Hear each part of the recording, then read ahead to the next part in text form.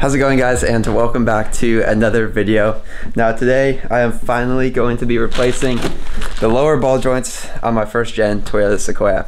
Just like all of my other repair and modification videos that are on my channel, this is something that has probably been needing to be done for a while, especially since we're talking about the lower ball joints here if you're not familiar with older Toyotas, the lower ball joints are a part that often can fail, and when they do fail, can be pretty dangerous and cause a lot of damage. So they're a good thing to keep an eye on and a good thing to replace. I don't know exactly when mine were last replaced, uh, if they have been replaced, so just kind of doing them today for preventative maintenance. I'm super excited to jump in, get these swapped out, and I'll show you guys how to do that.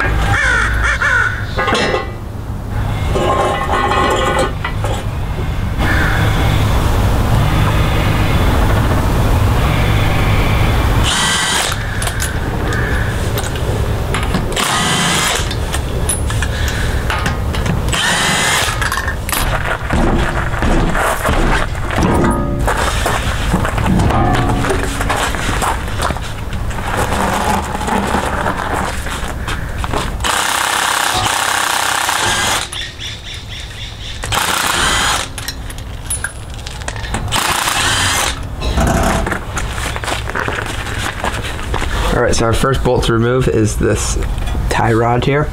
Um, there's a castle nut along with a pin.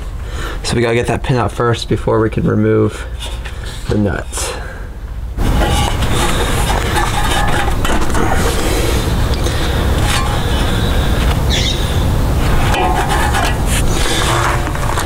All right, so with the cotter pin removed, now it's time to remove this castle nut. I believe it's a 19 millimeter.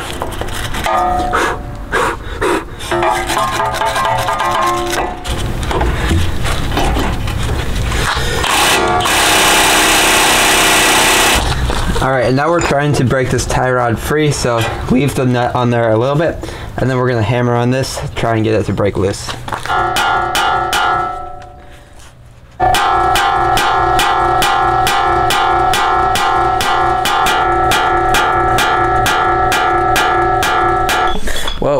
Be a car project without a trip to O'Reilly's or Harbor Freight? I couldn't get those tie rods separated, uh, so just picked up a ball joint separator from Harbor Freight. We're gonna give that a shot.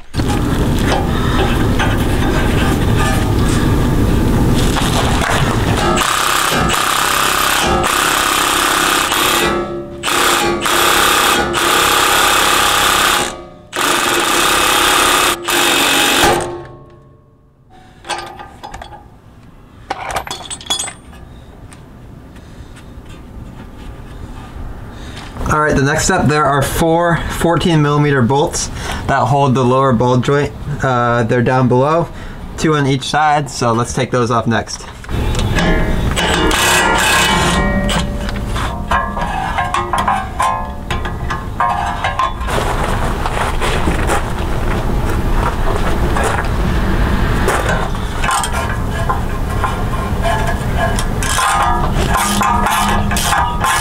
So this is where we are now. We disconnected the four bolts that hold the lower ball joint in. Um, it's hard to see, but there's one here, one here, and two on the other side. They're just 14 millimeters. And then we also disconnected the tie rod. I had to use the ball joint separator tool.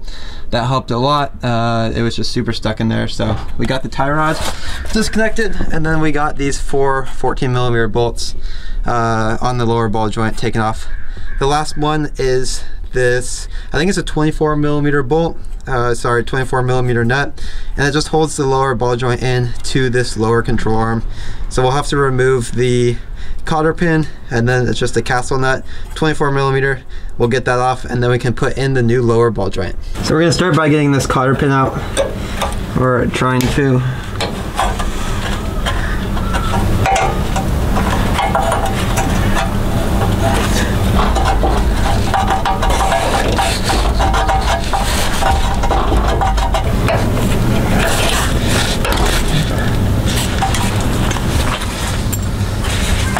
right, so with the cotter pin out, the last thing is this castle nut.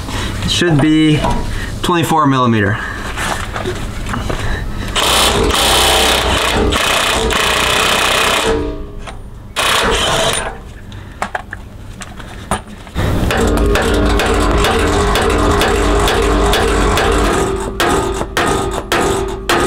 All right, I got them out. Both of the lower ball joints. Uh, just put on some rap music and the sledgehammer did the job. So um, honestly, they don't seem like they look that bad. Uh, I'll show you guys some clips here. Uh, I mean, I'm not a mechanic, uh, but it doesn't seem like they're leaking or anything. But at the same time, take that with a grain of salt because I don't really know what a bad lower ball joint exactly looks like. So uh, super excited to have gotten them out. Honestly, it didn't take too long. Um, the hardest part was just hitting it hard enough with the sledgehammer.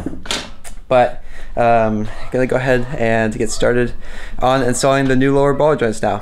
One other thing I'm trying today, and this is the first time I've kind of tried this, is normally I do one side start to finish and then go over and do the other side start to finish. But I saw a video of a mechanic working the other day. He was doing each side kind of at the same time. So you go and you take one nut off on one side, you go and do the same thing on the other side. You go and you take those bottom four 14 millimeter bolts off, you go and do it on the other side. And you kind of like do it at the same time. Uh, I tried that today and honestly it's worked amazing just because then you have all of the same tools out. It just seems like it's made it even more efficient and easy to kind of just do them at the same time. So right now um, on the Sequoia, both of the lower ball joints are out. I'm in the exact same place on both the passenger side and the driver side. And yeah, kind of just doing them together at the same time. And yeah, I like that workflow a lot better than doing one side start to finish and then the other side start to finish. So just another thing I'm trying today that I wanted to share with you guys because I think it's been working awesome. One other note too, make sure when you're doing your lower ball joints that you buy the official Toyota parts. These parts already fail often enough. You don't want to be messing around with any cheap aftermarket brands. Toyota OEM is the only way to go when it comes to lower ball joints. I'll put links in the description to where I got these. I recommend looking at first gen off-road they have an option where you can get them with all new factory bolts as well, so it makes it super easy to get all of the parts and bolts without having to do any of the research. Just, uh, just place your order and you get everything you need. All Toyota OEM.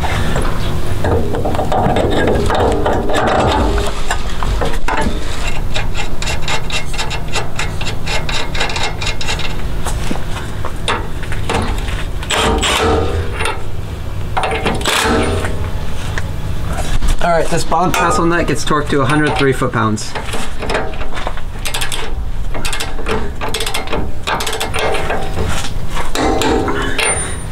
All right, and if the slot doesn't line up for the cotter pin, uh, keep tightening it until it does versus loosening it. You want to make sure it's torqued to at least 103 foot-pounds. This part's a little tricky, but you gotta line up the lower ball joint. Um, and just get these four bolts threaded through.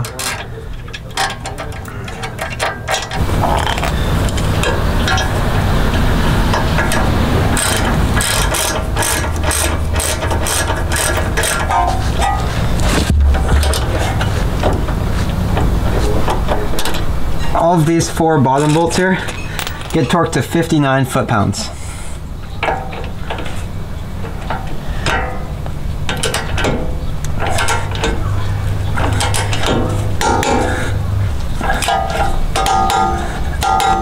The outer tie rod gets torqued to 67 foot-pounds.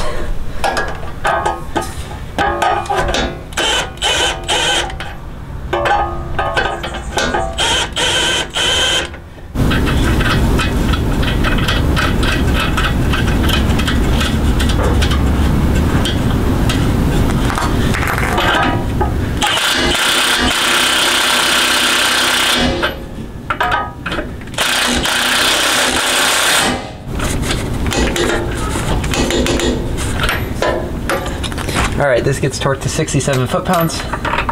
Um, the only way I was able to tighten it here was with the impact. If I was using anything else like a hand uh, tool, it was just spinning. So just try and use your impact on this or uh, some type of power tool if you can't get it. So I do think we need new cotter pins. Um, the kit didn't come with any for this piece. Uh, so I'll need to pick some up um, at some point. All right guys, so everything is put back together and torqued. Uh, just need to put the wheels back on and clean everything up, but just wanted to review the torque specs. The outer tie rod here is 67 foot-pounds.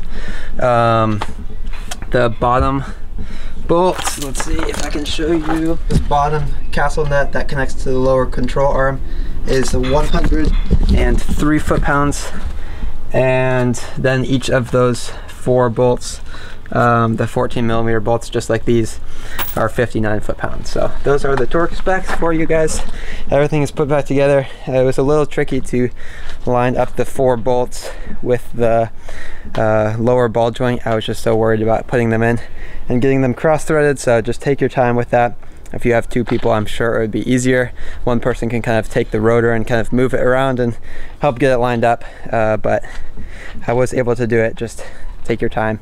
Don't want to cross thread any of those. The lower ball joints, it didn't seem like they were in too terrible condition, but like I've said earlier, these are known to fail on Toyotas and they can cause a lot of damage if they do fail. So just having the peace of mind that I have brand new Toyota OEM lower ball joints in there, uh, it'll just be nice to know for the next 50, 100,000 plus miles. So um, I'm gonna get everything cleaned up, put the wheels and tires back on, but that's pretty much gonna do it for this video. It took me about four hours yeah, not terrible, not too bad of an install. Um, and that's pretty much gonna do it for this video. So I hope this video was helpful. Uh, definitely drop a comment below. Let me know if you have any questions or you get stuck. Always happy to help and give some advice. So I'm not a mechanic, but I think it's really cool to be able to take on some of these projects yourself and feel like you can do it. So I hope these videos can kind of uh, help guide you guys who are also trying to do this by yourself. So uh, thanks so much for watching. I hope you enjoyed, hope it was helpful, and I'll see you guys in the next one.